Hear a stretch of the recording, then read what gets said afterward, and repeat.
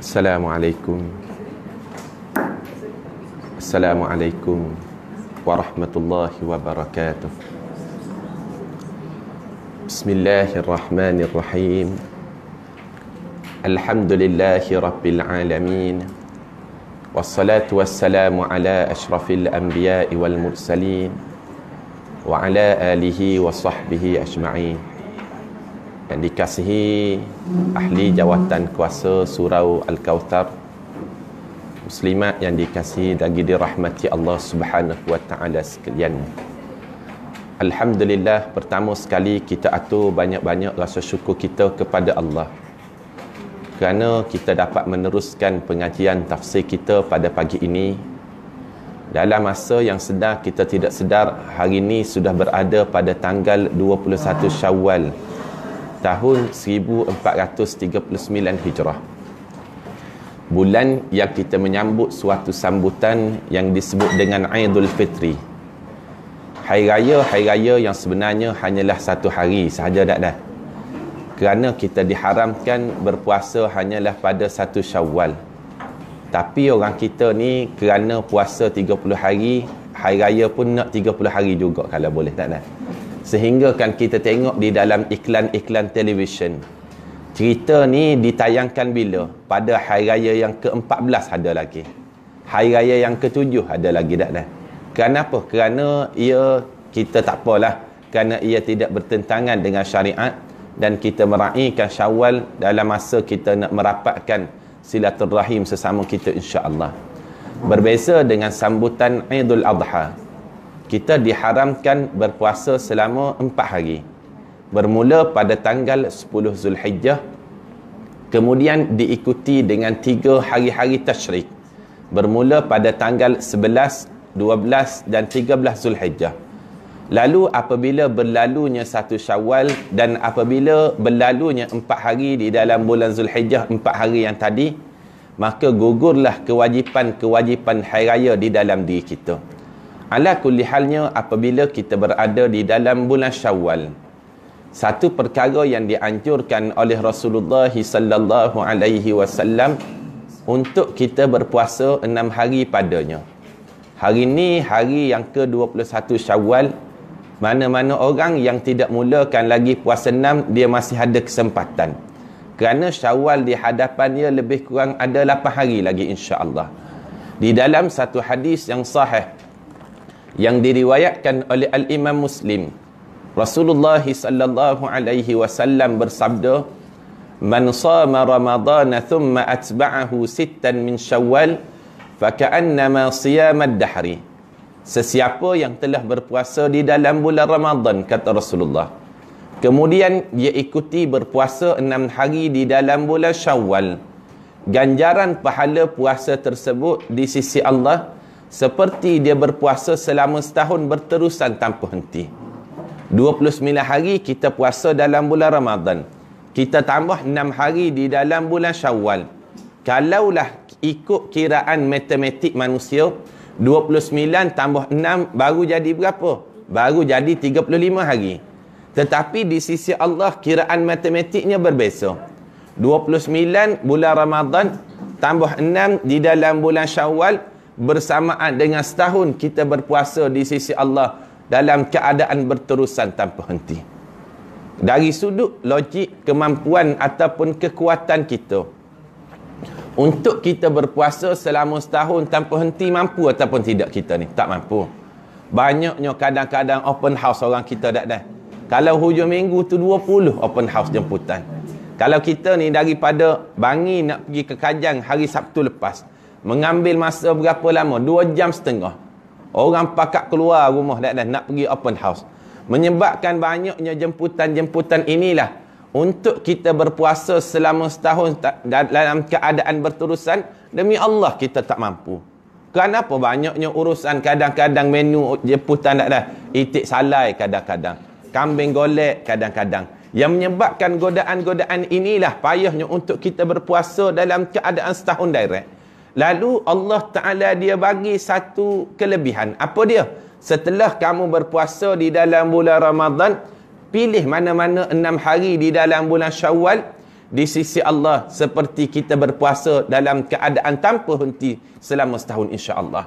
Dan ana yakinlah boleh jadi sebahagian besar daripada kita ni habis lama dah puasa enam dia dah dah. Kita tanya berapa berapa hari lagi tinggal alhamdulillah habis ustaz. Dia mula pada tanggal 2 Syawal hari Sabtu lagi. Allahu akbar. Ada orang kan hari Sabtu kita hari raya Jumaat, satu Syawal. Dia mula puasa enam ni hari Sabtu. Tanggal 2 Syawal dia ambil direct enam hari. Sabtu, Ahad, Isnin, Selasa, Rabu, Kamis, cukup enam hari. Hari Jumaat selepas daripada seminggu lepas hari raya, dia boleh buat hari raya yang kedua pula dah ada. Alhamdulillah. Ada orang tinggal lagi dua hari. Ada orang tinggal lagi empat hari.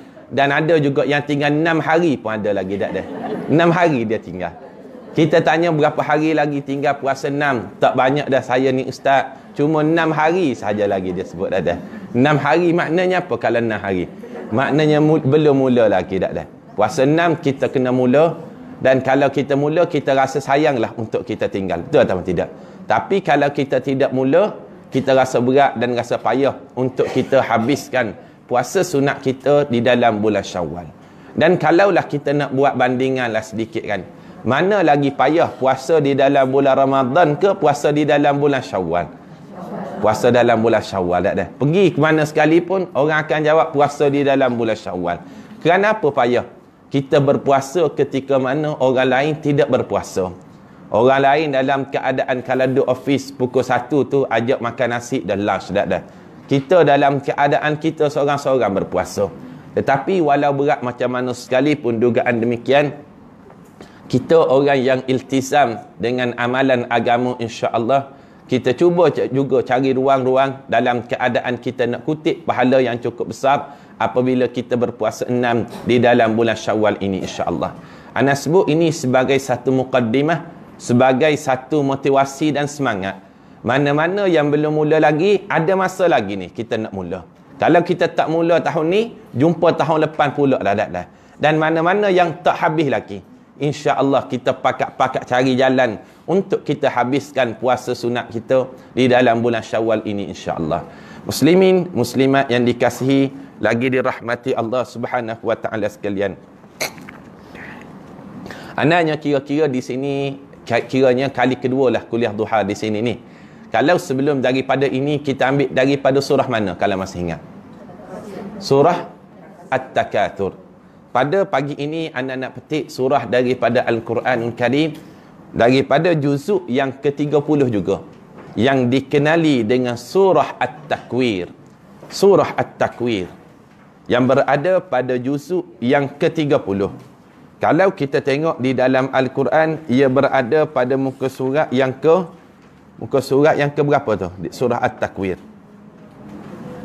Surah At-Takwir. Muka surat? 5 586 kalau kita buka di dalam Al-Quranul Karim. Adakah? Idza syamsu kuwirat. Kita akan cuba menafsirkan melihat tafsiran para alim ulama daripada ayat yang pertama hingga ayat yang ke-13 daripada ayat yang pertama hingga ayat yang ke-14 daripada surah At-Takwir dalam ruang masa lebih kurang 1 jam 15 minit lagi yang tinggal insya-Allah. Kalau boleh kita sama-sama baca dulu surah At-Takwir beramai-ramai untuk kita kutip pahala daripada kita membaca ayat-ayat Al-Quran pada pagi ini insya-Allah. Surah At-Takwir yang berada pada juzuk yang ke-30 di dalam Al-Quran berada pada surah yang ke-81 daripada susunan mushaf Al-Quran berada pada muka surat 586 kita sama-sama baca ikut anda insya-Allah dah. Boleh dah dah? أعوذ بالله من الشيطان الرجيم.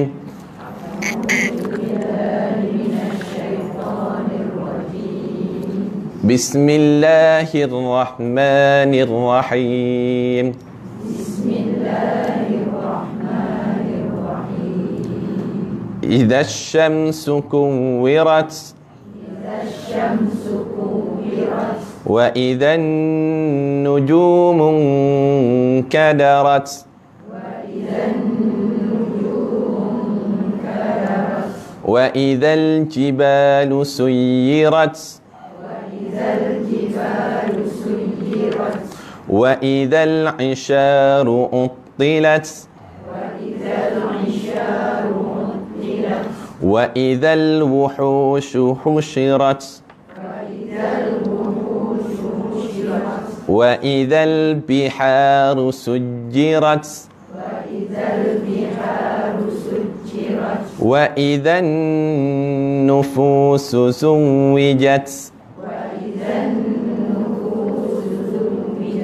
وإذا الموءودة سئلت وإذا الموءودة سئلت بأي ذنب قتلت وإذا الصحف نشرت وإذا السماء كشطت وإذا الجحيم سعرت وإذا الجنة أزلفت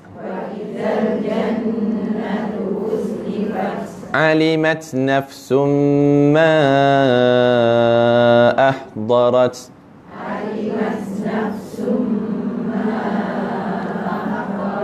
Sadaqallahul Azim. Muslimat sekalian Surah yang sama-sama kita baca sebentar tadi Dikenali Surah At-Takwir Yang berada pada juzuk yang ke-30 Merupakan surah yang ke-81 Daripada susunan Mushaf Al-Quran Tujuan anda meminta untuk kita baca beramai-ramai sebentar tadi Ada dua tujuan utama yang pertamanya untuk kita kutip pahala daripada kita membaca Al-Quran pada pagi ini insya-Allah. Kerana setiap huruf yang kita baca daripada Al-Quran dijanjikan ganjaran pahala di sisi Allah Subhanahu wa taala di hari akhirat kelak oleh Rasulullah sallallahu alaihi wasallam. Berdasarkan kepada satu hadis yang diriwayatkan oleh Al-Imam At-Tirmizi kata Nabi Muhammad sallallahu alaihi wasallam Man qara'a harfan min kitabillahi falahu bihi hasanah Sesiapa yang membaca satu huruf daripada kitab Allah iaitu Al-Quran baginya ini satu ganjaran pahala wal hasanatu bi ashri amsalha dan daripada satu ganjaran pahala daripada kita membaca Al-Quran Allah Ta'ala layak untuk memberi gandaan pahala hingga menjadi sepuluh. Kita baca Al-Quran sementara tadi ni, Rasulullah sebut, kita layak untuk mendapat gandaan pahala antara satu yang paling maksimumnya sepuluh gandaan pahala. Berdasarkan apa? Berdasarkan keikhlasan kita. Berdasarkan apa? Berdasarkan betul ataupun tidak bacaan dan sebutan kita. Lalu Rasulullah sebut lagi di dalam hadis tersebut, La akulu alif lam mim harfun. Aku tidak katakan kalau kamu membaca alif lam mim, alif lam mim itu bukan satu huruf kata Rasulullah. Kita bacakan alif lam mim, alif lam ra, yasin, itu bukan satu huruf di sisi Allah. Walakin alifun harfun. Tetapi alif itu satu huruf. Walamun harfun. Lam itu satu huruf. Wa mimun harfun. Dan mim itu satu huruf. Maknanya kalau kita congok mudahlah.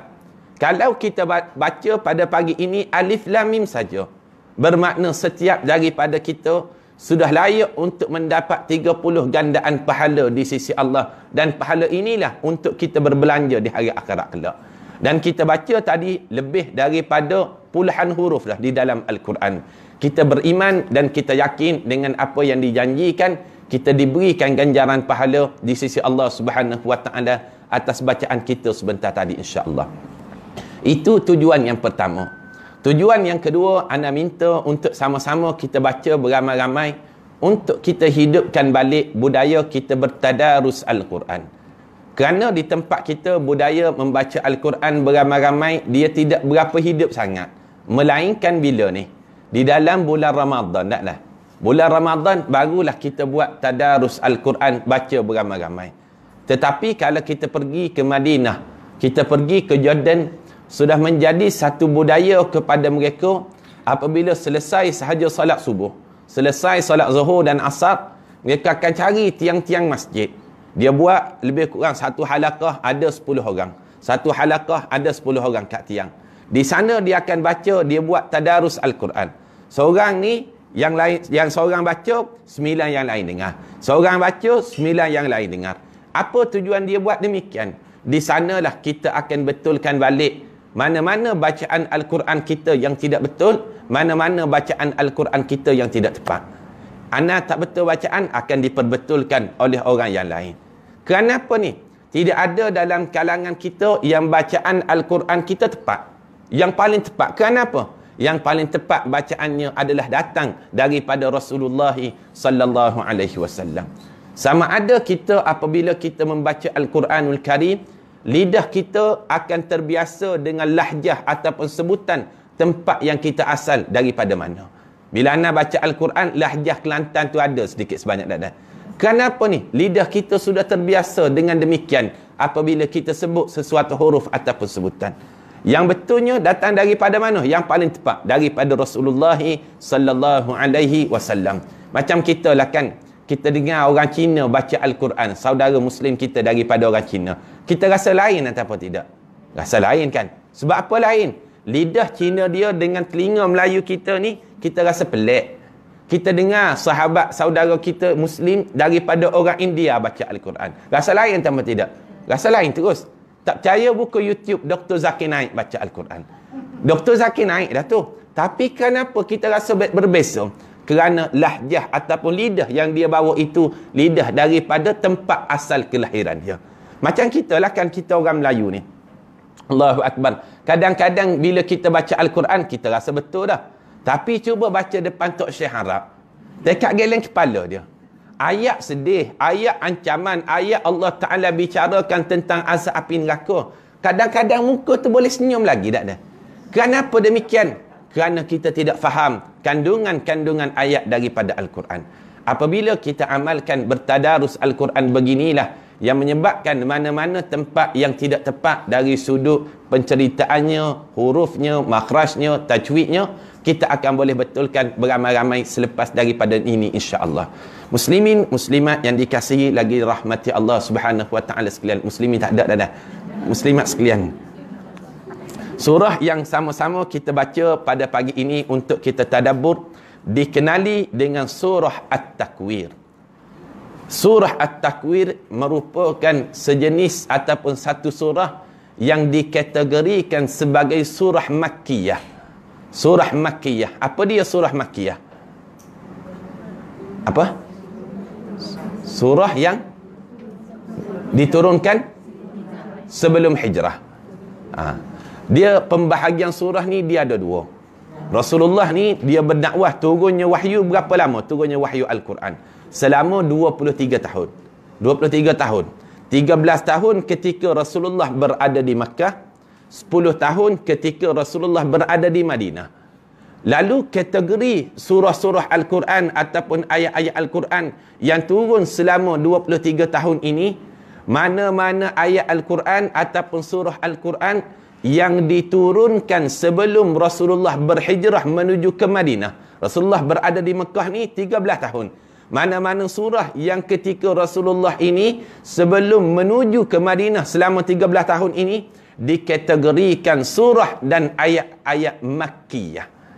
Ha, ada dah. Surah At-Takwir, surah yang diturunkan sebelum Nabi sallallahu alaihi wasallam berhijrah menuju ke Madinatul Munawwarah. Satu pembahagian surah dia. Yang kedua surah dikenali dengan surah Madaniyah. Apa dia surah Madaniyah? Mana-mana surah yang diturunkan selepas Nabi sallallahu alaihi wasallam berhijrah ke Madinah selama 10 tahun walaupun surah ini diturunkan di Makkah. Ada surah yang diturunkan di Makkah di Arafah. Tetapi kerana ia turun selepas Rasulullah berhijrah menuju ke Madinah, ia dikenali dengan surah Madaniyah. Antaranya ayat apa? Ayat al-yawma akmaltu lakum dinakum wa atmamtu alaikum ni'mati wa raditu lakumul islam madina. Ayat ini turun ketika Rasulullah berada di Arafah ketika Rasulullah melaksanakan haji yang terakhir. Walaupun turun di Arafah tetapi ia berlaku ia turun selepas Rasulullah berhijrah ia dikenali dengan surah Madaniyah. Ini pembahagian dia. Dan surah At-Takwir surah yang dikenali dengan surah Makkiyah kerana ia turun sebelum Nabi sallallahu alaihi wasallam berhijrah jelas tak itu dari sudut jangka masa dia turun bila yang kedua sebelum kita pergi kepada ayat-ayat di dalam surah At-Takwir kita kena faham apakah maksud At-Takwir At-takwir dengan makna apa? Berasal daripada perkataan kawara. At-takwir perkataan asalnya adalah kawara. Di dalam bahasa Arab kawara yukawiru at-takwir. Kawara ni dengan makna digulung. Ha, itu makna surah At-Takwir. At-Takwir dengan maknanya digulung.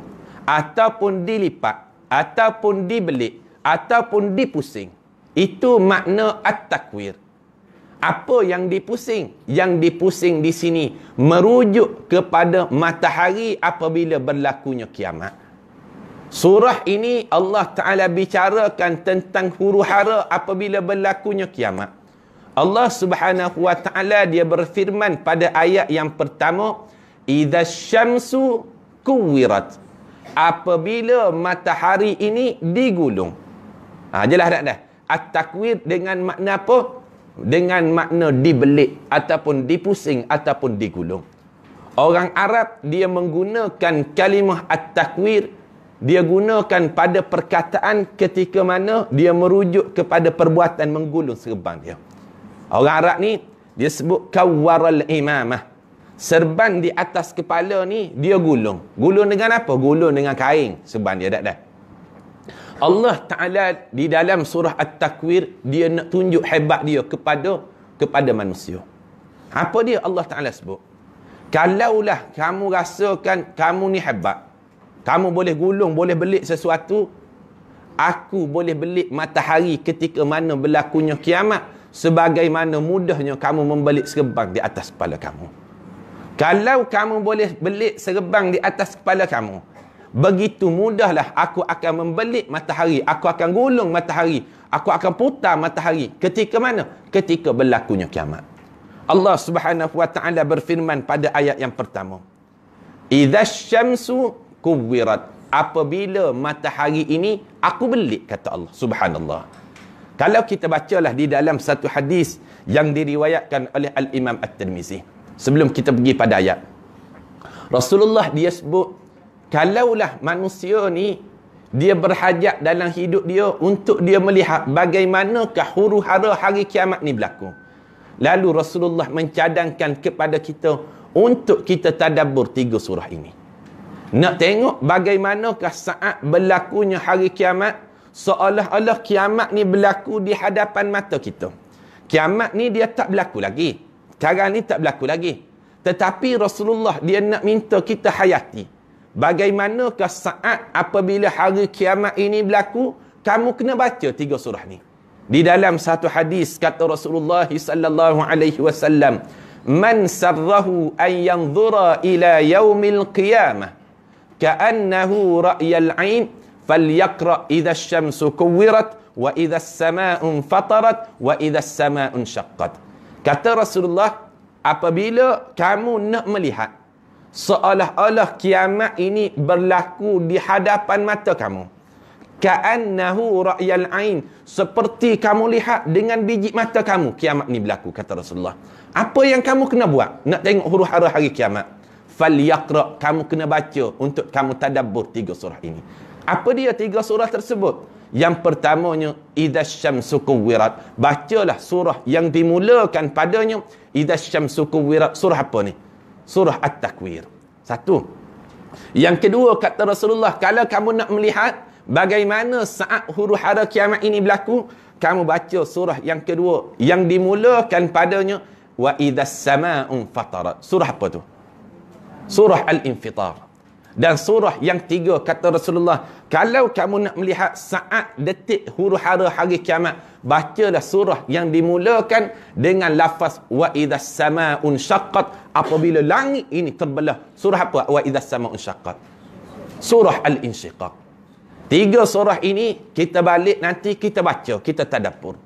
Nescaya kita akan melihat inilah rentetan-rentetan bagaimana kiamat ini bermula sehinggalah saat manusia dibangkitkan oleh Allah. Yang pertama surah Al-Takwir, yang kedua surah Al-Infitar dan yang ketiga surah Al-Insyiqaq. Surah Al-Infitar wa idza as-samaa'u fatarat apabila langit ini jatuh dalam keadaan berkeping-keping. Wa idza as-samaa'u syaqqat apabila langit ini jadi terbelah itulah saat gambaran hari kiamat kita baca tiga surah ini dan surah ini dikenali dengan surah tiga beradik. Apa dia tiga beradik? Membicarakan tema yang sama iaitu bagaimana saat penghancuran alam semesta ini berlaku. Tak? Dah kita pilih daripada surah ini kita ambil satu surah pada pagi ini untuk sama-sama kita tadabbur. Muslim muslimat sekalian Ayat yang pertama Allah Subhanahu wa taala berfirman Idza syamsu kuwirat Apabila matahari ini digulung kata Allah Apabila matahari ini digulung Ayat ini turun kerana apa? Kerana golongan musyrikin, golongan yang kufur kepada Allah yang tidak beriman kepada Allah Taala, dia tanya satu soalan. Muhammad kamu katakan kiamat ini berlaku yang menyebabkan seluruh alam semesta ini menjadi hancur binasa. Dalam Al-Quran kan Rasulullah baca, Rasulullah apa ni Allah Subhanahu wa taala berfirman, "Kullu man 'alaiha fan wa yabqa wajhu rabbika dzil jalali wal ikram." Setiap apa yang ada di alam semesta ni kata Allah, fan semuanya akan hancur binasa wa yabqa wajhu rabbika dzil jalali wal ikram yang kekal yang kekal hanyalah ketinggian dan kemuliaan Allah bila Allah Taala sebut semua yang ada di alam semesta ni akan hancur binasa lalu golongan musyrikin ni dia tanya satu soalan wahai Muhammad Tuhan kamu mengatakan berlakunya penghujung ataupun pengakhiran alam semesta yang menyebabkan apa yang ada di alam semesta ini menjadi hancur. Cuba kamu cerita kepada aku bagaimana mungkin Allah Taala boleh hancurkan matahari yang besar tu. Allahu akbar. Ni soalan dia. Matahari ni besar. Kalau nak dibandingkan kita belajarkan sains dulu. Matahari dengan bumi ni berapa kali ganda siapa yang lagi besar? Kita belajar sains-sains dulu. Anak-anak kita boleh jawab lah soalan ni. Mok-mok pun boleh jawab juga ni. Matahari dengan bumi ni dari sudut saiz fizikalnya mana yang lagi besar? Matahari. Berapa kali ganda matahari ni lagi besar daripada bumi? Ingat ke tak dah? Bumi yang kita duduk ni besar dah. Bangi saja besar mana dah. Campur kajang campur semenyih campur ampang. Selangor saja besar dah. Kalau kita kira Malaysia lagi besar bumi. Kalau kita kira 100 negara yang lain lagi besar. Tapi kalaulah bumi nak dibandingkan dengan matahari matahari lagi besar. Berapa kali ganda matahari ni lagi besar daripada bumi sebesar matahari sebanyak 109 kali ganda menurut fakta sains apabila dibuat ukur lilit. Matahari dengan bumi, matahari ni lagi besar sebanyak 109 kali ganda. Maknanya kalau saiz matahari nak bagi sama dengan saiz bumi ni macam mana bumi kena buat? Kena masukkan yang disebut dengan bumi ke dalam matahari ni sebanyak 109 biji bumi barulah sama dengan saiz matahari yang sebiji. Subhanallah. Allah Ta'ala dia nak bicarakan dalam ayat ni, aku ni hebat. Macam mana? Yang kamu rasa cukup mustahil untuk Allah Ta'ala hancurkan alam semesta, kamu kena tahu. Matahari yang besar tu, aku boleh buat idha syamsu kuwirat. Aku boleh gulung dia pada hari kiamat. Aku boleh belik dia menyebabkan matahari ini lenyap daripada pandangan mata kamu. Sebagaimana mudahnya kamu membelik serban kamu pakai tudung di atas kepala kamu. Subhanallah. Ini ayat yang betul-betul Allah Ta'ala nak jawab nak mematahkan hujah golongan yang tidak percaya kepada adanya hari kiamat. Orang tanya wahai Muhammad bagaimana Allah Ta'ala nak hancurkan matahari yang besar besar matahari ni kita kan hebatnya ciptaan Allah Ta'ala melalui matahari. Jarak antara kita di bumi sekarang ni dengan matahari beratus-ratus juta kilometer. Kita nak ke sini ke Kelantan baru 600 kilometer. Jauh dah. Tapi kita dengan matahari di atas sana tu jarak dia beratus-ratus juta kilometer. Tetapi hebatnya penciptaan Allah Ta'ala melalui matahari. Ini ayat pertama ni. Hebatnya penciptaan Allah Ta'ala melalui matahari walaupun jarak dia jauh. Cahaya dia sampai ataupun tidak pada kita. Sampai. Dan sampai pula cahaya matahari ni Allah Ta'ala tanda kasih lagi. Allah Ta'ala tidak hantar cahaya ini secara direct. Tidak. Allah Ta'ala buat pula lapisan untuk menapis cahayanya ini agar sampai kepada kita dengan sekadar yang kita perlukan. Ditapis dengan apa? Ditapis dengan lapisan atmosfera. Hebatnya penciptaan Allah Ta'ala melalui matahari. Kita ni kan kita terima hujan. Kenapa kita terima hujan? Kerana adanya matahari. Betul atau tidak? Kita belajar sains kan. Bagaimana hujan ini boleh berlaku? apabila matahari yang berada berjuta-juta di sana dia memancarkan cahayanya ke atas air laut kita belajarkan masa darjah 6 dulu. Ingat ada ke silibus ni? Ada insyaAllah tak ada. Anak-anak kita yang UPSA dia boleh syarah bagaimana terjadinya hujan. Bagaimana ia berlaku? Matahari yang berada ratus juta di atas sana dia memancarkan sinar, sinarnya ke atas air laut. Lalu air laut dia akan tersejak melalui proses evaporation, penyejatan naik ke atas. Air naik kan, bila macam kita ni, suluh cermin pada air, tiba-tiba dekat-dekat cermin kaca kita ni ada uap. Berlakunya proses evaporation, air naik ke atas. Bila air naik ke atas ni, dia akan membentuk gumpalan awan. Membentuk gumpalan awan. Awan-awan yang banyak terbentuk, akhirnya dia akan jatuh ke bawah melalui proses apa ni? Melalui proses kondensasi, pada ketika itu kerana berat sangat dia menampung awan ni menampung gugusan air dia akan jatuh ke bawah. Kenapa dia jatuh ke bawah? Kerana daya tarikan graviti bumi. Kenapa? Kerana puncanya matahari. Dan air yang kita terima yang berpunca daripada matahari ni kita terima dalam keadaan masin ataupun tawar. Tawar. Kenapa tawar? Sedangkan ia berpunca daripada air laut.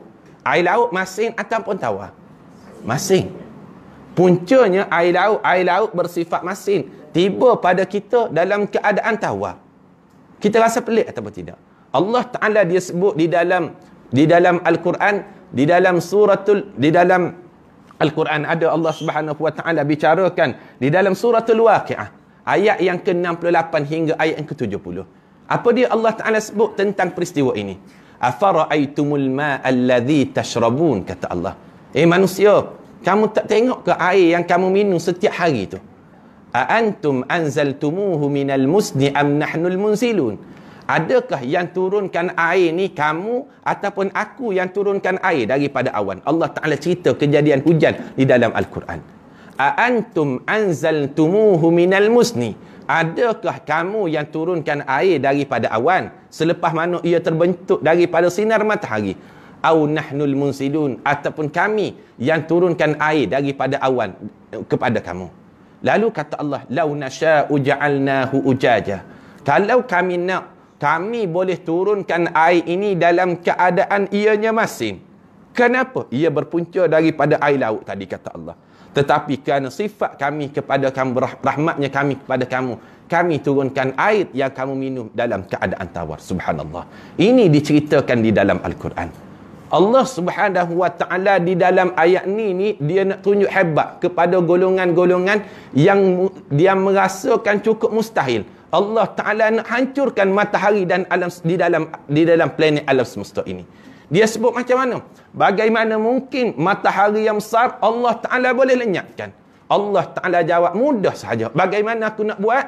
Idza syamsu kuwirat.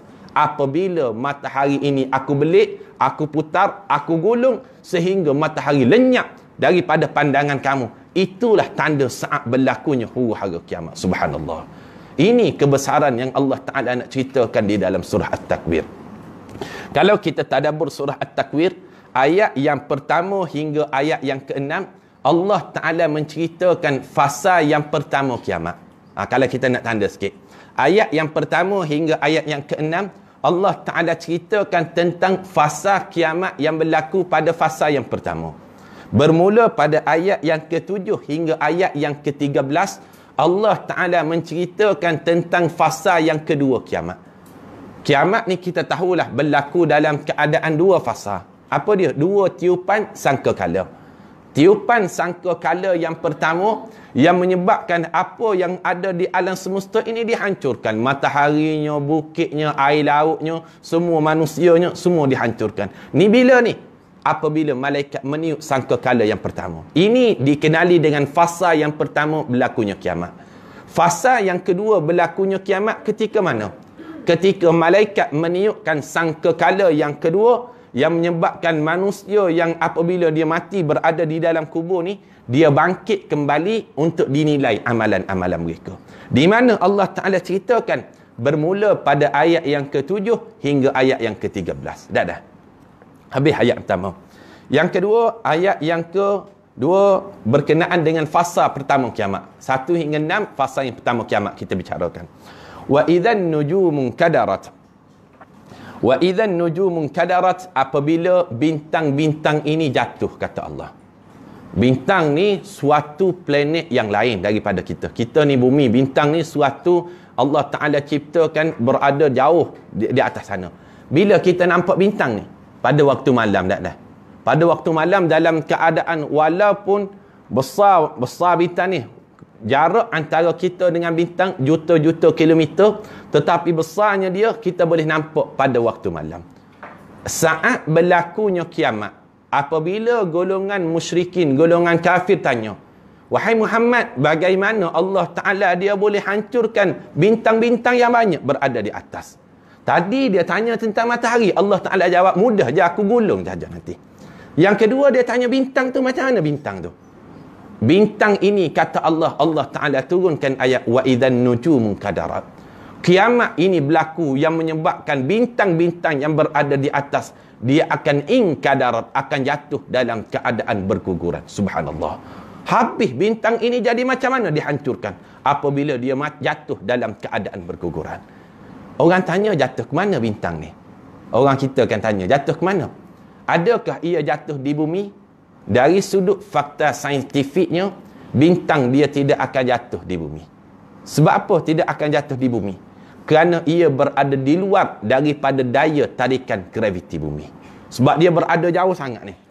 Sesuatu yang kita balingkan apabila kita baling dia akan jatuh ke bawah. Sebab apa dia jatuh ke bawah? Kerana dia berada di dalam daya tarikan graviti bumi tetapi objek-objek yang di luar daripada daya tarikan graviti bumi antaranya apa? Antaranya bintang. Dia tidak akan jatuh di bumi. Kita tengokkan angkasawan Syekh Muzaffar dulu dah dah. Bila dia naik ke angkasa lepas tu, dia keluar daripada kapal dia, dia jatuh ke bumi atau tidak? Tidak. Sebab apa demikian? Kerana dia berada di luar daripada daya tarikan graviti bumi. Begitu juga bintang dari sudut jaraknya dia berada di luar daripada daya tarikan graviti bumi. Jauhnya dia berada dengan bumi. Tetapi yang pastinya Allah taala sebut saat berlakunya hari kiamat ni macam mana?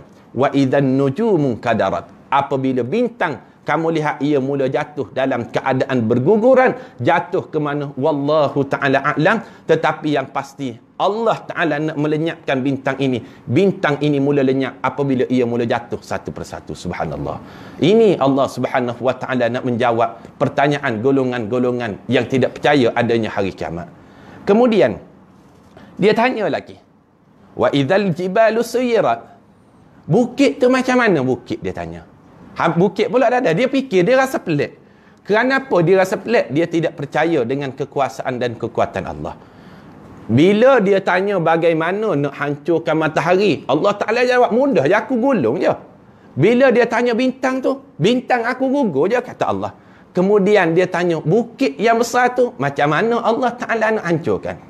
Allah Ta'ala jawab, wa idzal jibalu sujirat apabila bukit bukau yang besar, yang hebat, yang kukuh, yang tegak ini kata Allah, suyirat aku akan hancurkan dia dan bukit ini akan berterbangan menjadi seperti debu. Itulah tanda berlakunya hari kiamat. Subhanallah. Bukit ni fungsi bukit di dalam Al-Quran Allah Taala sebut sebagai apa? Wa wal jibala autada. Bukit ini dia akan menjadi pasak kepada bumi nak pastikan bumi ini tidak bergerak, bumi ini tidak bergoncang, Allah Ta'ala pakukan bumi dengan bukit. Ha, kita kan kita baca di dalam Al-Quran Allah Taala sebut fir'auna dzil autad. Fir'aun juga dia ada pasak-pasak dia yang mengukuhkan kedudukan Fir'aun apa dia? Piramid-piramid dia yang membentuk Fir'aun ini jadi kukuh. Allah Taala sebut dalam Al-Quran fir'auna dzil autad. Fir'aun juga ada pasak dia. Apa dia pasak bagi Fir'aun? Iaitu piramid. Di, di bumi ini yang menjadi pasak kepada bumi, yang menyebabkan bumi ini tidak bergoncang, bumi ini tidak tergolosor, apa dia? Bukit. Wal jibal dan bukit kata Allah autad, dia akan menjadi pasak kepada bumi. Bukit yang hebat, bukit yang dalam keadaan dia jadi pasak kepada bumi ni, pasak ni macam mana? Kalau orang kampung dia tahulah satu satu perkara yang disebut dengan baji. Orang lama dia tahulah. Baji ni macam mana? Tak, tak. Tahu ke? Antara dua papan perahu tu, dua papan perahu, tak nak bagi dua papan perahu ni berkocok, bergerak kan? Macam mana dia buat ni? Dia masukkan kat dalam tu. Betul atau tidak? Tak, tak. Ini istilah baji. Orang lama dia tahulah. Tak, tak. Istilah baji ni, inilah yang disebut sebagai pasak. Nak pastikan antara dua papan ini dalam keadaan dia tak bergerak, lalu dimasukkan papan. Begitu juga bumi. Nak pastikan bumi dalam keadaan dia tidak bergoncang. Apa dia perlu lakukan? Kena ada bukit. Kita kan kalau kita lalu LPT. Allahu Akbar. LPT 2 tu kita tengok dalam keadaan bukit ni begitu besar. Tu orang tarah dah. Ini fungsi bukit. Allah Ta'ala bila nak menjawab pertanyaan bagaimana Allah Ta'ala nak hancur leburkan bukit yang hebat. Kamu kata kiamat, kiamat ni menyebabkan semua yang ada di alam semesta ini dihancurkan. Cuba kamu jawab, bukit ni macam mana nak buat? Allah Ta'ala jawab, mudah saja. Macam mana? Wa idhal jibalu sujirat. Apabila bukit ini, aku hancurkan ia dan ia bertebangan menjadi seperti debu. Pada saat itu, bukit sudah tidak ada. Subhanallah. Ini kekuasaan dan kehebatan Allah. Allahu Akbar. Para hadirin sekalian, kalau kita tengoklah di dalam sejarah golongan yang meramalkan the end of the universe pengakhiran alam semesta ini beberapa tarikh pernah dibuat ramalan.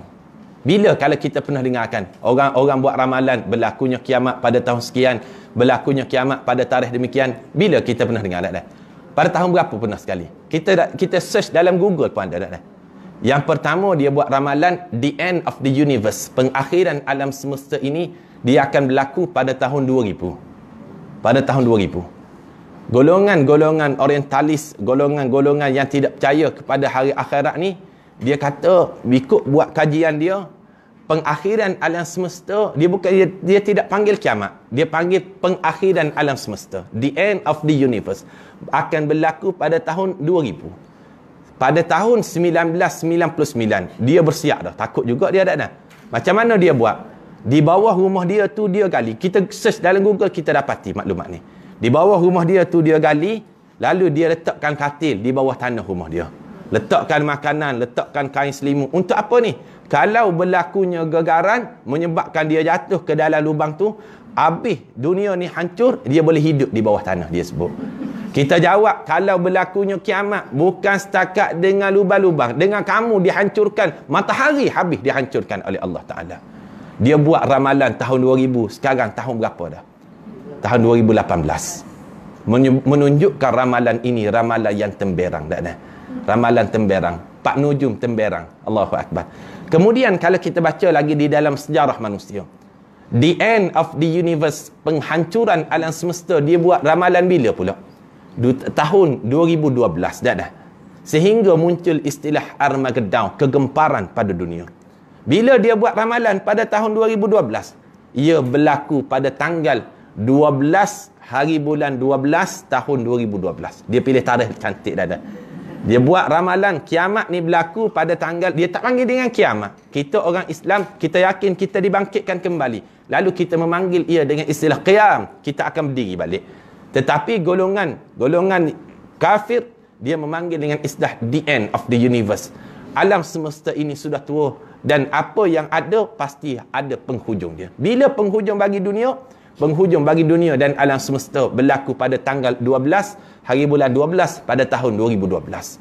Dan sekarang tahun berapa dah kita? 2018. Menunjukkan ramalan ini ramalan yang temberang. Kemudian bila salah dia buat ramalan tahun tahun-tahun Masihi semuanya salah. yang terbaru dia buat ramalan tersebar dalam WhatsApp. Bila pula ni? Dia tak guna tahun Masihi dah, dia guna tahun Hijrah pula dia buat ramalan. Tahun Masihi semuanya tipu.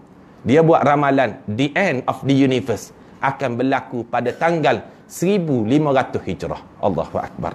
1500 Hijrah. Dia pandai, dia pilih nombor-nombor genap semua. Kalau kita perhati tak ada. Nombor-nombor yang cantik. 1500 Hijrah, sekarang ni kita 1439 Hijrah. Lebih kurangnya 61 tahun lagi. Dan kalau kita ni. 61 tahun dia buat ramalan. Dan kita yakin ia juga merupakan ramalan yang salah dan ramalan yang temberang. Ramalan yang temberang. Kenapa?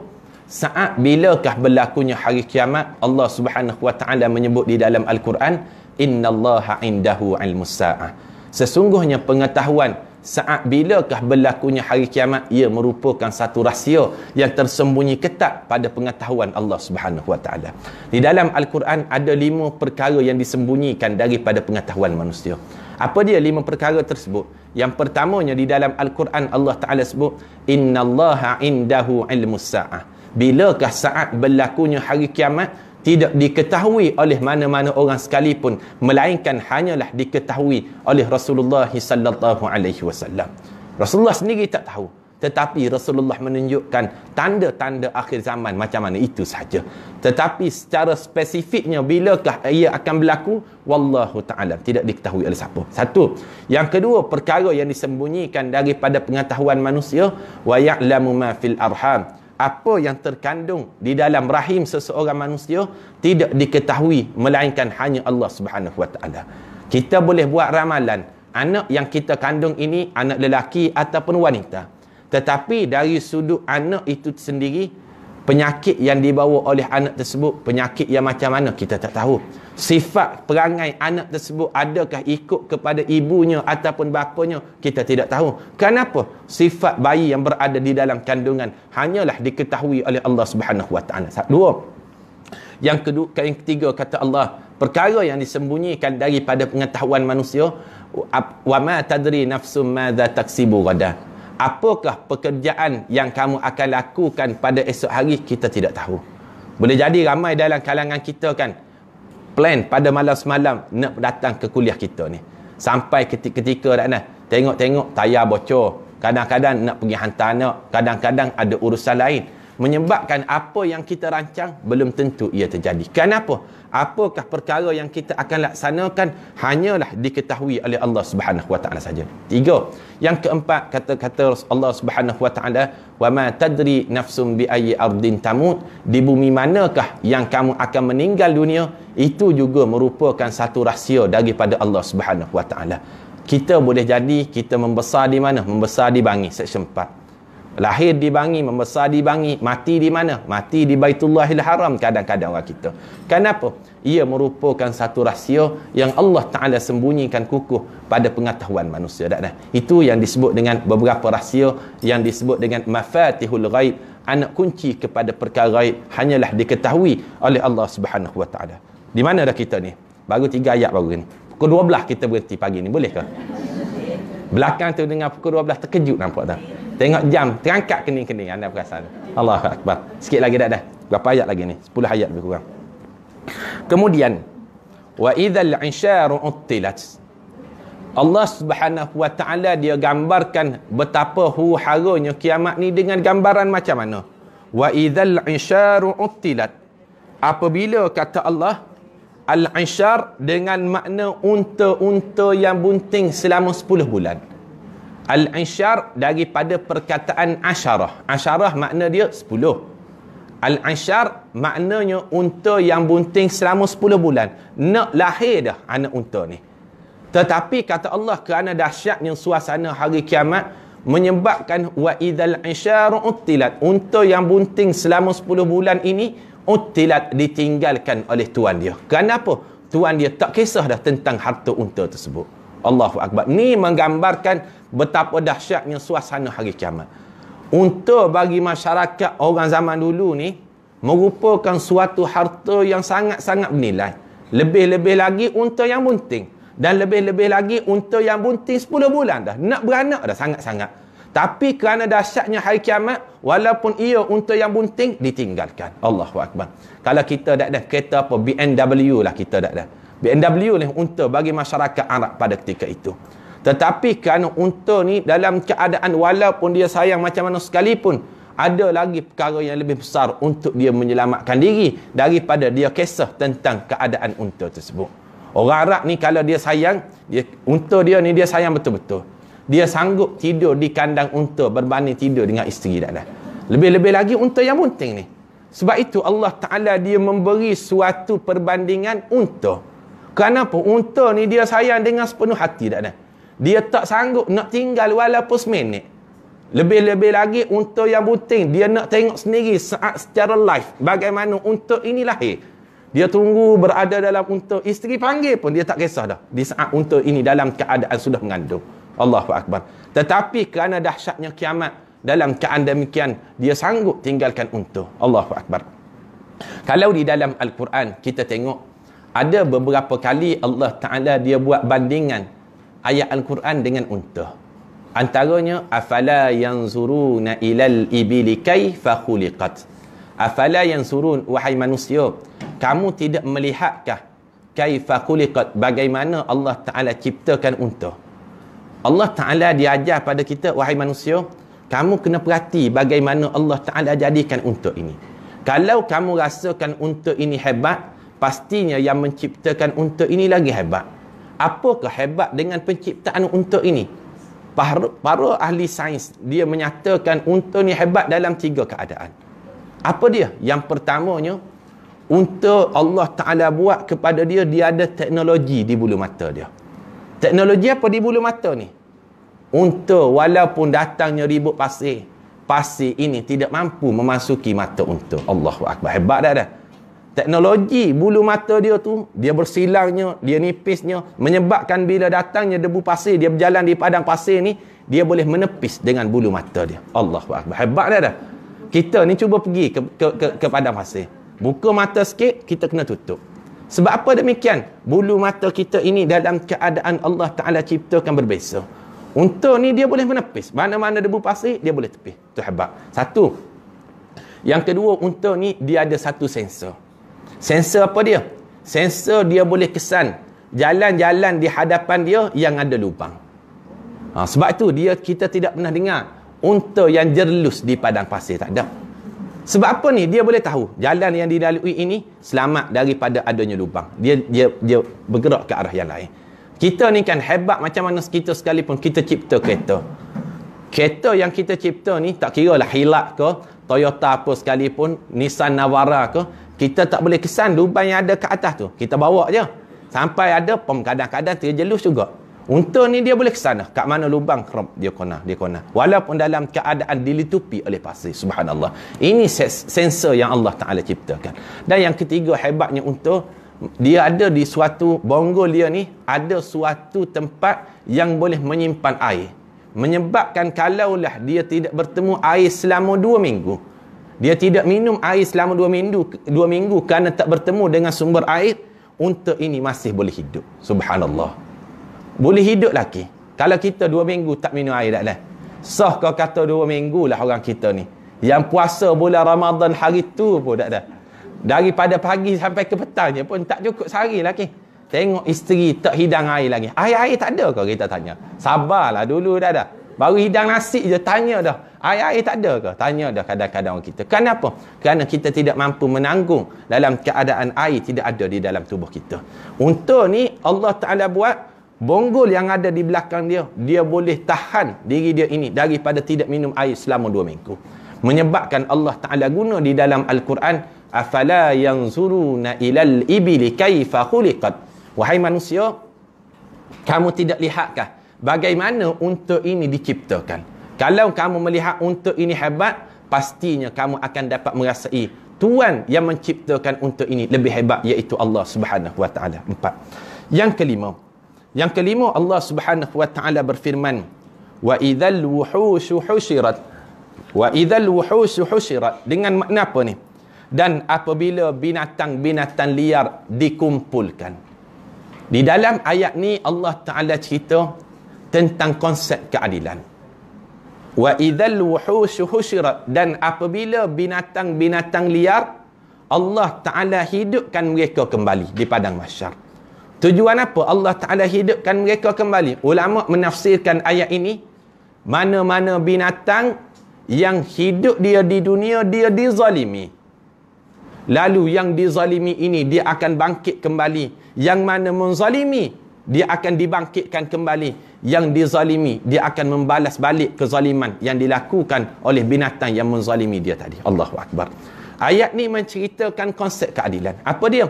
Wa idzal wuhushu husyirat. Apabila binatang-binatang liar mereka masing-masing akan dibangkitkan. Siapa yang dibangkitkan? Mana-mana lembu yang sedok lembu lain yang tanduk lembu lain. Yang lembu yang kena tanduk di dunia ini dia akan bangkit di padang mahsyar. Dia akan tanduk balik lembu yang pernah tanduk dia dah dah Lalu ulama sebut ayat ini menjadi harapan kepada orang beriman. Mana-mana orang beriman, mana-mana manusia yang hidup dia pernah dizalimi oleh manusia yang lain di dunia, dia ada hak untuk dia tuntut balik di padang mahsyar. Ayat ni lah. Kalaulah binatang sekalipun Allah Taala bagi hak pada dia di padang mahsyar.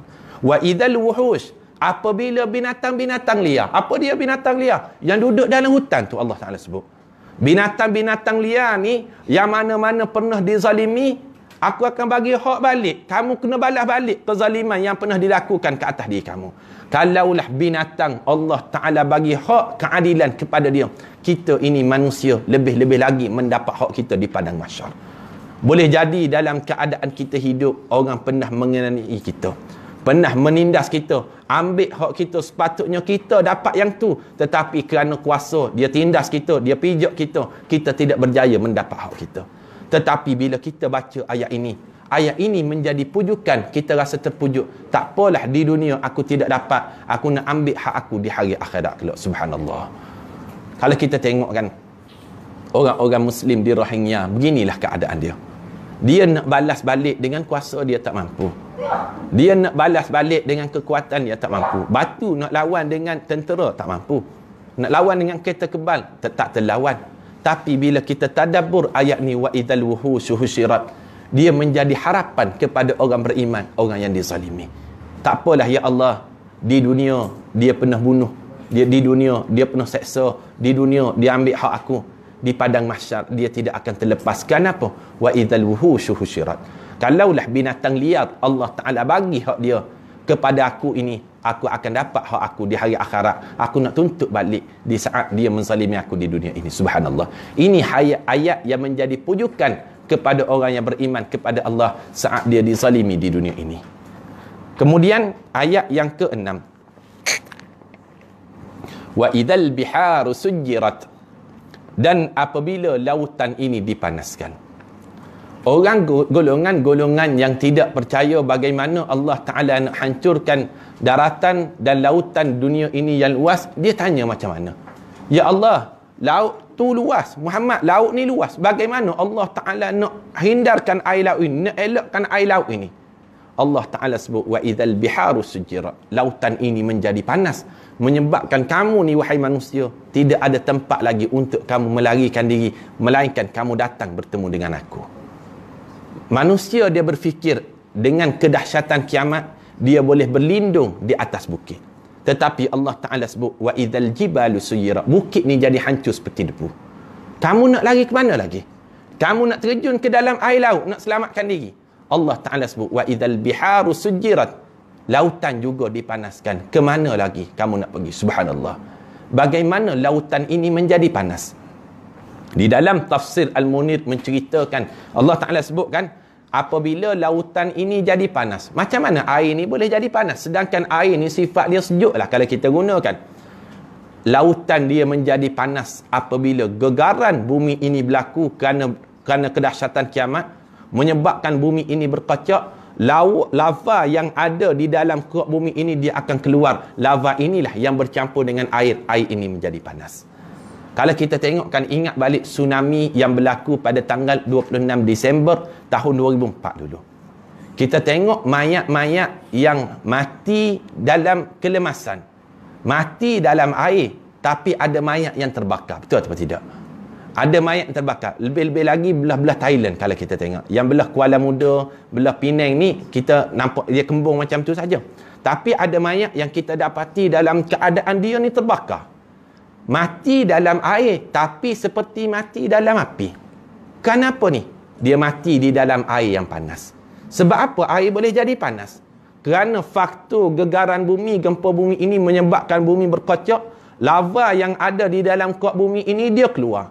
Yang keluar inilah dia bercampur dengan air laut. Manusia yang mati di dalam air laut yang panas inilah dalam keadaan bila orang ketemu dia dalam keadaan tubuh dia terbakar. Subhanallah ini merupakan kekuasaan Allah Allah Taala sebut wa idzal biharu sujirat dan apabila lautan ini dipanaskan oleh Allah apabila ia berlakunya kiamat itu habislah fasa yang pertama fasa penghancuran bumi dan alam semesta Allah Taala jawab satu persatu kita pergi kepada fasa yang kedua pula.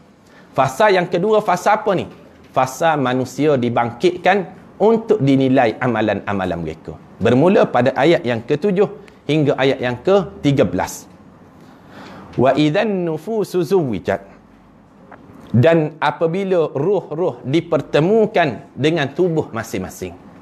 Ha, ni menunjukkan Allah Ta'ala nak bangkitkan kembali manusia. Apa langkah pertama yang Allah Ta'ala buat? wa idzan nufus apabila nafas-nafas ataupun roh-roh nyawa-nyawa kita zuwijat zuwijat dengan makna dikahwinkan kan kita belajar bahasa Arab kan? Zaujah. Zaujah dengan makna apa? Isteri. Zauj dengan makna suami. Zuwijat dengan makna roh dengan jasad ni dia dikahwinkan kembali. Ditemukan kembali. Apabila roh dengan jasad ditemukan kembali bermakna fasa kebangkitan manusia ini akan bermula. Kita kan kita tahu kan kita hidup sekarang ni kan apa? Kerana nyawa nyawa kita roh kita dengan jasad kita bersatu roh kita ni dengan jasad yang kita ada ni bersatu. Sebab tu kita hidup. Bila kita mati satu hari nanti kan bila kita mati dalam keadaan roh ni dia keluar daripada badan kita. Orang sebut kan roh hilang dah roh habis dah. Tak ada nyawa dah. Mati dah. Mati ni kan apa? Roh yang ada dalam diri kita dia keluar daripada badan. Timbul satu persoalan di sini. Roh yang keluar daripada badan dia pergi ke mana kita pernah terfikir atau tidak pergi ke mana tu tak dah kita sekarang pergi ke mana alam barzah ha. kita tengok lagi kita ni kan kita boleh bergerak kerana ada nyawa yang kedua ada jasad menyebabkan kita boleh bergerak tapi kita tengok orang yang mati tu sebab apa dia mati? Kerana roh keluar daripada badan dia. Roh yang keluar ini dia pergi ke mana? Itu persoalan dia. Perbahasan tentang roh ini cukup panjang. Ada yang mengatakan apabila terpisah jasad daripada roh, roh kalau roh ini roh yang baik di sisi Allah, dia akan pergi ke suatu tempat namanya Illiyin di dalam Al-Quran kita sebut. Illiyin.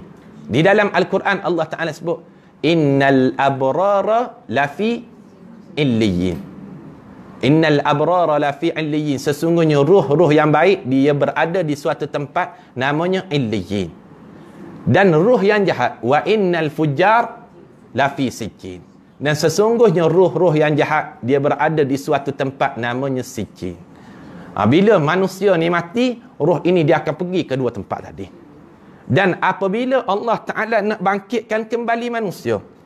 Lalu Allah Ta'ala sebut, Wa idhan nufusu zuwijat. Dan apabila nyawa-nyawa, ruh-ruh ini dikahwinkan kembali dengan jasad dia, dengan makna disatukan. Dipanggil ruh tadi yang berada di Iliyin, kamu pergi bertemu dengan jasad Tuhan kamu. Yang berada di siji kamu pergi bertemu dengan jasad yang yang ada di dalam tubuh tuan kamu. Lalu apabila manusia bertemu kembali dengan jasad dia dengan badan dia pada saat itu manusia ni hidup kembali sebagaimana kita hidup pada saat ni. Ketika di mana ni ketika manusia nak dibangkitkan bertemu dengan Allah taala di padang mahsyar Allahu akbar. Kemudian apabila manusia ni sudah bersatu antara jasad dengan roh apakah perkara pertama sekali yang Allah Ta'ala akan buat? Kita baca pada ayat yang ke-8 bila nyawa dan roh ini nyawa dan jasad ini bersatu perkara pertama Allah Ta'ala akan buat wa idhal maw'udatu si'ilat Dan apabila bayi perempuan yang ditanam hidup-hidup suilat akan ditanya kepada mereka. Bi ayyi dhanbin kutilat. Wahai bayi, cuba kamu sebut atas dasar apakah kamu ini dibunuh. Ini perkara pertama yang Allah Taala akan buat. Apa dia? Mana-mana bayi yang dibunuh pada masa dia kecil, Allah Taala akan hidupkan bayi tersebut. Allah Taala akan tanya, "Wahai bayi, cuba kamu cakap pada hari ini." Bi ayyi dhanbin kutilat. Cuba kamu sebut atas dosa apakah kamu telah dibunuh di, di, di dunia dahulu. Subhanallah. Kenapa bayi Allah Taala hidupkan? Kerana dia tidak ada dosa. Allah Taala nak tahu manusia yang tidak ada dosa kenapa tiba-tiba dia dibunuh? Subhanallah. Allah akbar. Kemarin kita dengar satu kisah adik hadam raikan dalam keadaan Allah Taala ambil nyawa dia dalam keadaan begitu kita teringat satu hadis daripada Allah Subhanahu Wa Taala hadis kursi. Allah Taala Allah Subhanahu Wa Taala sendiri berbicara. Bila mati seseorang anak ni Allah Taala sebut idza mata waladun abdi. Hadis daripada al Imam At-Tirmizi. Idza mata waladun abdi. Bila seseorang anak kepada hamba aku ni mati kata Allah. Ayah ni kan bila ayah ni dia ada anak. Lalu bila anak kepada ayah tadi tu mati Lalu Allah Ta'ala sebut, Iza mata waladun abdi. Bila mati anak kepada hambaku ini, kata Allah, lalu Allah Ta'ala tanya kepada malaikat. Qala Allahu li malaikati. Allah Ta'ala akan tanya kepada malaikat, Qabattum waladun abdi.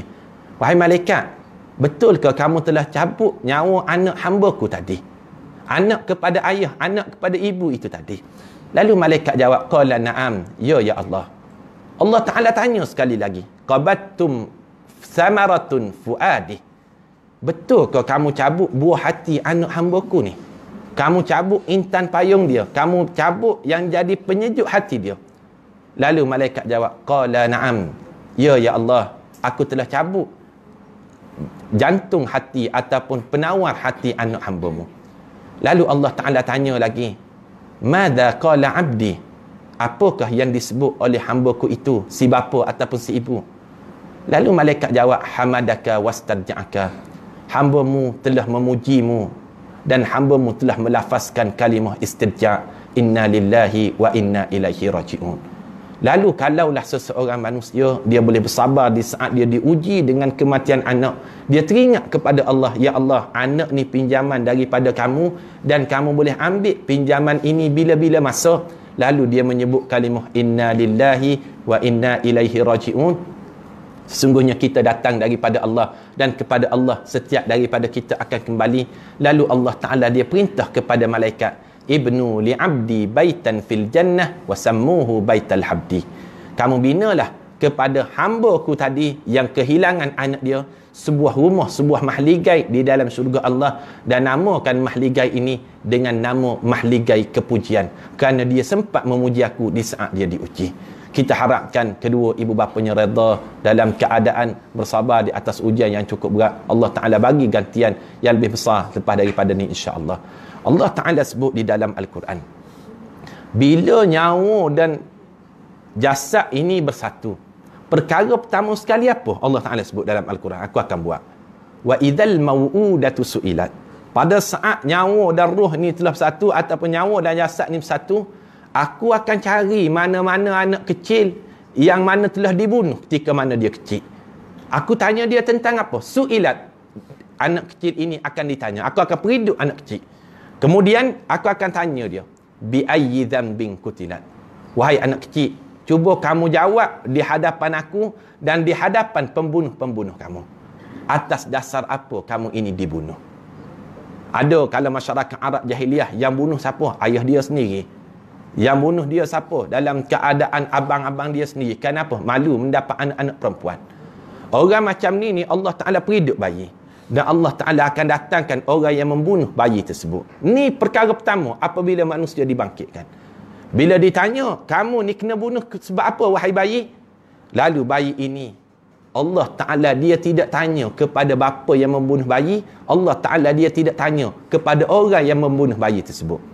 Di dalam tafsir menyebut sebab apa? Allah Ta'ala ni dia periduk bayi, Allah Ta'ala dia tanya bayi sendiri. Tak tanya kepada orang yang membunuh bayi tersebut. Kalaulah ditanya kepada orang yang membunuh bayi tersebut, pastinya orang yang membunuh ini dia akan menipu. Dia akan sebut ya Allah aku bunuh budak ni bukan kerana apa ya Allah aku miskin dia kata. Aku bunuh bukan kerana apa aku bunuh kerana aku aku rasa payah ada dia. Dia akan bunuh dengan dia akan bagi alasan dengan berbagai cara tetapi Allah Taala dia tidak tanya kepada bapa yang membunuh abang yang membunuh orang yang membunuh bayi tersebut tidak tetapi Allah Taala dia akan tanya kepada bayi tersebut sendiri lalu bayi ini dia akan bercakap ya Allah aku sendiri pun tidak tahu atas dosa apakah aku dibunuh. Sesungguhnya orang yang bunuh aku ini merupakan manusia yang jahat. Sebab apa? Aku tidak ada dosa. Aku tidak pernah buat dosa kepada dia. Tiba-tiba dia bunuh aku. Subhanallah. Ini hikmah Allah Ta'ala guna bahasa di dalam Al-Quran. Bi'ayyi dhanbin kutilat wahai bayi. Kamu sendiri berkata-kata atas dasar apa kamu ini dibunuh. Allahu Akbar. Ini yang yang yang kita sedih sangat dah. Kadang-kadang kita tengok di hentian kajang lebih kurang minggu lepas kadang-kadang. Ada ada tengok kan dalam WhatsApp tu. Ibu baru bersalin saja. Ambil anak dia lempar daripada tingkat empat. Anak bayi tu baru bersalin. Tali pusat dia kerak sendiri. Kepala jatuh di zinc. Orang ambil anak tu. Dalam keadaan kritikal di, di, di, di hospital kacang. Allahu Akbar. Ada orang dalam keadaan nak bunuh anak dia kerana hasil daripada luar nikah boleh jadi. Ataupun atas sebab-sebab yang lain buang dalam masuk dalam tandas dia tarik pam keluar pergi. Ada yang lempar dalam tong sampah yang dulu ada satu kisah. Anak ni nak hilangkan bukti macam mana? Bayi yang baru lahir dia masukkan dalam blender. Dia tekan blender cem hancur hilang bukti. Dijumpai dalam demikian. Orang macam ni kita ingatkan dengan ayat saat nyawa dan ruh kamu ini bersatu je perkara pertama Allah Ta'ala akan hidupkan kembali bayi yang kamu bunuh. Dan Allah Ta'ala akan datangkan kamu. Allah Ta'ala minta bayi ini menyebut Wahai bayi, kenapa kamu dibunuh sedangkan kamu ini tidak ada dosa? Bayi akan sebut, aku sendiri pun tidak tahu ya Allah. Aku sendiri tak tahu, bayi sebut. Aku ni kecil, nak buat dosa pada dia, mustahil lah. Tapi orang yang bunuh aku betul-betul jahat, patutlah kamu bagi balasan api neraka pada dia. Ini bahasa di dalam Al-Quran. Kemudian ayat yang ke-10. Wa idhas suhufu nusyirat. Dan apabila as-suhuf As-suhuf dengan makna lembaran amalan. Ataupun as-suhuf dengan makna catatan-catatan amal manusia. Nusyirat akan diagihkan kepada pemilik masing-masing. Maknanya, ana akan dapat bahagian ana, puan-puan sekalian akan dapat bahagian puan-puan. Bila kita dapat amalan ini, ada golongan manusia yang Allah Ta'ala sebut, golongan manusia yang bila dia dapat dia amalan dia timbul terus rasa menyesal dalam hidup dia kita bacakan di dalam suratul kahfi. Allah taala Allah taala sebut wa wudi'al kitabu fataral mujrimina musfiqina mimma fihi wa yaquluna ya waylatana ma li hadzal kitab. La yughadiru saghiratan wala kabiratan illa ahsaha. Wa wajadu ma amilu hadira wala yadhlimu rabbuka ahada. Allah Subhanahu wa taala sebut apabila wa idzas suhuf suhuf ni lebih kurang macam ni dah. Buku rekod kita apa dia buku rekod? Bila kita ni bangkit jadi padang mahsyar Allah taala Allah taala dia ni, ni kepada anak yang tadi tu Allah taala dia tak tak bagi buku rekod lagi. Allah taala tanya dah. Allah Ta'ala tanya dulu orang yang apa ni? Orang yang dalam keadaan dia bunuh bayi-bayi yang kecil dalam keadaan dia tidak ada dosa. Yang tu belum bagi buku rekod. Ayat tu dia sebelum. Daripada ayat wa idza suhufu nusyirat. Barulah selepas daripada tu special case kalau kita kira dah kemudian selepas daripada ditanya anak tersebut itulah barulah Allah taala wa idza suhufu nusyirat. Diagihkan as-suhuf kepada pemilik masing-masing. Ada pemilik yang dapat buku rekod daripada sebelah tangan kanan dia. Kita baca dalam surah al-waqiah Allah taala dia gunakan bahasa ashabul yamin. Oh, pada saat itu wa wudi al-kitab aku letak kitab apa ni buku rekod di sebelah tangan kiri dia. Fataral mujrimin. Kamu perhatikanlah wajah-wajah penjenayah kepada Allah musfiqin dalam keadaan dia geletar pegang buku rekod melalui tangan kiri dia. Musfiqin mimma fi. Wa yaquluna ya wailatana ma li hadzal kitab. Lalu dia sebut terus kepada Allah ya Allah. Lalu Allah taala jawab wala yadhlimu rabbuka ahada. Di padang mahsyar aku tidak akan berlaku zalim walaupun kepada seorang manusia sekalipun. Ini wa idza suhufu nusyirat kemudian wa idza samaa'u kushitat dan apabila langit-langit ini dilenyapkan menunjukkan apabila? Apabila langit ni dia ada tujuh tingkat ataupun tujuh lapisan. Kita belajarkan di dalam peristiwa Al-Isra' wal Mi'raj di dalam Al-Quran banyak yang menceritakan langit ini dia ada tujuh lapisan dia. Dan langit ini yang kita lihat dia bukanlah satu bentuk fizikal macam dinding kita ni tidak. Maknanya kita naik-naik sampai teratuk kepala ke langit tidak ada sebab apa? Dia satu fenomena jauh Langit ni merupakan satu fenomena jauh yang mana yang kita tengok sekarang ni itu bukan lapisan langit yang pertama lagi tu. Allahu akbar. Yang kita rasa jauh tu itu bukan langit yang pertama lagi. Langit ni dia ada tujuh tingkat dia. Tujuh lapisan dia. Menunjukkan kekuasaan ataupun alam semesta yang Allah Ta'ala buat ini sangatlah luas. Kita tengok langit di Selangor. Kita tengokkan ke atas di Kelantan. Sama saja. Dan yang kita tengok itu bukan langit yang pertama lagi. Tetapi bila saat berlakunya kiamat kata Allah semua ini aku akan lenyapkan dia. Lenyapkan dalam keadaan demikian. Kemudian Allah Subhanahu wa taala sebut pada ayat yang ke-12 wa idzal jahim su'irat. Dan apabila neraka jahanam dinyalakan. Dalam ayat ni Allah Subhanahu wa taala sebut apabila neraka jahanam ini dinyalakan. Maknanya apa maknanya neraka jahanam ini dinyalakan ketika manusia berada di padang mahsyar. Barulah dinyalakan. Lalu api neraka yang Rasulullah lihat di dalam peristiwa Al-Isra' wal Mi'raj api neraka yang mana? Faham atau tidak? Allah Ta'ala sebut api neraka ini dinyalakan ketika mana? Manusia berada di padang mahsyar. Maknanya yang sebelum daripada ni tak nyala lagi. Kita belajarkan di dalam peristiwa Al-Isra' wal Mi'raj Rasulullah dia pergi site visit dia tak masuk dalam neraka pun dia pergi side visit di berdekatan Rasulullah tengok ada orang yang bawa unggun api dalam keadaan dia bawa kayu api di atas belakang dia. Orang macam mana? Orang yang tidak mampu memikul amanah tapi dia minta lagi amanah ataupun tanggungjawab jawatan yang lain. Sehingga dia terduduk dengan kayu yang dia pikul di atas belakang dia. Ada orang yang makan daging busuk di dalam peristiwa Al-Isra wal Mi'raj. Neraka mana yang Rasulullah lihat? Kalaulah di dalam ayat ni Allah Taala sebut neraka baru nak dinyalakan neraka yang Rasulullah lihat di dalam peristiwa Al-Isra' wal Mi'raj suatu neraka yang telah digerakkan masanya pada masa hadapan. Nampak atau tidak? Allah Ta'ala dia tunjuk masa hadapan inilah wahai Muhammad. Kenapa? Allah Ta'ala dia ini masa adalah milik Allah. Allah Ta'ala boleh jadikan masa ni cepat dan masa ni lambat di sisi Allah.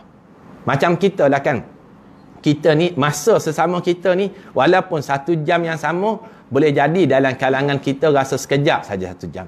Boleh jadi satu jam setengah kita berada dalam pengajian tafsir kita rasa lama tak dah tempat yang sama majlis kuliah tafsir yang sama tapi satu jam setengah antara kita ni dirasakan berbeza. Betul atau tidak tak dah kenapa masa ni milik Allah? Allah Ta'ala boleh jadikan kita rasa cepat Allah Ta'ala boleh jadikan kita rasa lambat Orang yang rasa cepat macam mana dak dah. Satu jam setengah kejap je. Kadang-kadang kita bagi salam tertidur je dia kadang-kadang dak dah. Baru je bagi salam. Assalamualaikum. Tadilah pukul sembilan setengah tadi. Dia jawab Waalaikumsalam Ustaz. Jumpa lagi pukul sebelah dia sebut dah dah. Tunduk makin menunduk makin menunduk kita tengok kepala dia tu. Keroh keroh dah dah. Akhir majlis nanti pukul sebelah nanti kan. Kita bagi je salam aku lu qauli hadza baru dia celik mata. Salah jumpa dengan kita kejap lagi. Allah Ustaz, rasa sekejap sungguh tazkirah tafsir pagi ni. Tak sekejap macam mana lena daripada awal lagi kadang-kadang dah dah. Menunjukkan apa ni? Satu jam setengah yang sama. Tetapi dirasakan sekejap ada yang rasa lama. Ada yang rasa lama satu jam setengah ni. Dari tadi dia tengok jam bila Ustaz nak berhenti ni. Rasa lambat dah ni. Menunjukkan apa? Masa ini adalah milik Allah. Allah Ta'ala dia boleh buat cepat dan Allah Ta'ala boleh buat lambat masa ataupun neraka yang ditunjukkan Allah Ta'ala oleh Rasulullah kepada Rasulullah dalam peristiwa Al-Isra' wal Mi'raj neraka yang telah direntaskan masanya pada masa hadapan. Neraka baru nak nyala je ketika mana? Di padang masyar. Ada dah pada masyar sekarang? Tak ada lagi. Tetapi yang dilihat oleh Rasulullah masa yang telah dicepatkan oleh Allah Ta'ala kerana Allah Ta'ala ini merupakan pemilik masa. Dah dah. Wa idhal jahimu su'irat Kemudian wa idzal jannatu uslifat dan apabila syurga ini didekatkan kepada siapa? Kepada orang yang ada iman kepada Allah. Apa apakah maksud syurga didekatkan? Kalau kita baca di dalam di dalam satu hadis, hadis yang sahih. ada berkenaan dengan golongan lelaki disebut lelaki oleh Rasulullah lelaki yang terakhir yang memasuki syurga Allah dia ni banyak sungguhlah dosa dak dah sehingga Rasulullah sebut dia ni lah orang yang paling akhir yang masuk syurga Allah Ha, tapi Rasulullah sebut bangsa tertentu bukan bangsa Melayu lah dah, dah. Rasulullah sudah tentukan bangsa lelaki manakah yang telah masuk neraka masuk syurga Allah yang paling akhir disebut oleh Rasulullah terdiri daripada bangsa demikian. Ada satu satu orang anak tak terlupa. Bukan daripada bangsa Melayu bukan bukan dalam kalangan kita alhamdulillah. Orang ni orang yang terakhir masuk syurga Allah. Selepas habis dosa dia ini dalam keadaan Allah Taala cucikan di neraka Allah Lalu di saat orang lain masuk syurga dah. InsyaAllah kita berada dalam syurga dah. Ada seorang lelaki lagi. Dia Islam ke dia Islam? Beriman ke dia beriman? Kerana dia beriman inilah ada sekecil zarah keimanan dia kepada Allah. Dia beriman kepada Allah dan beriman kepada lima rukun iman yang lain. Dosa dia banyak. Tapi dia yakin juga kepada Allah. Menyebabkan dia inilah lelaki yang terakhir keluar daripada neraka. Bila dia keluar daripada neraka, dia minta kepada Allah, Ya Allah, dekatkan pada pandangan mata aku dengan syurga Allah. Aku nak tengok syurga lah pula ya Allah. Rentung habis dah muka ini apabila dia berada dalam neraka Allah. Hadis yang sahih kalau kita baca. Bila dalam keadaan dia keluar daripada neraka, dia rindu sangat, ya Allah nak minta satu perkara saja, tak nak minta yang lain. Kalau tak boleh masuk syurga pun, biarlah kamu dekatkan syurga dengan pandangan mataku lalu didekatkan syurga menyebabkan dia ber, berada di luar di pintu neraka dia nampak syurga daripada jauh. Allahu akbar. Dia sebut pada Allah ya Allah kalau kami kamu bagi aku melihat syurga daripada jauh sekalipun aku berjanji padamu ya Allah aku tak nak minta benda lain dah. Nak tengok syurga je daripada jauh. Dia nak minta masuk ke dalam syurga dia rasa malu dan tidak layak. Kerana dia orang terakhir orang lain masuk habis dah dah, dah.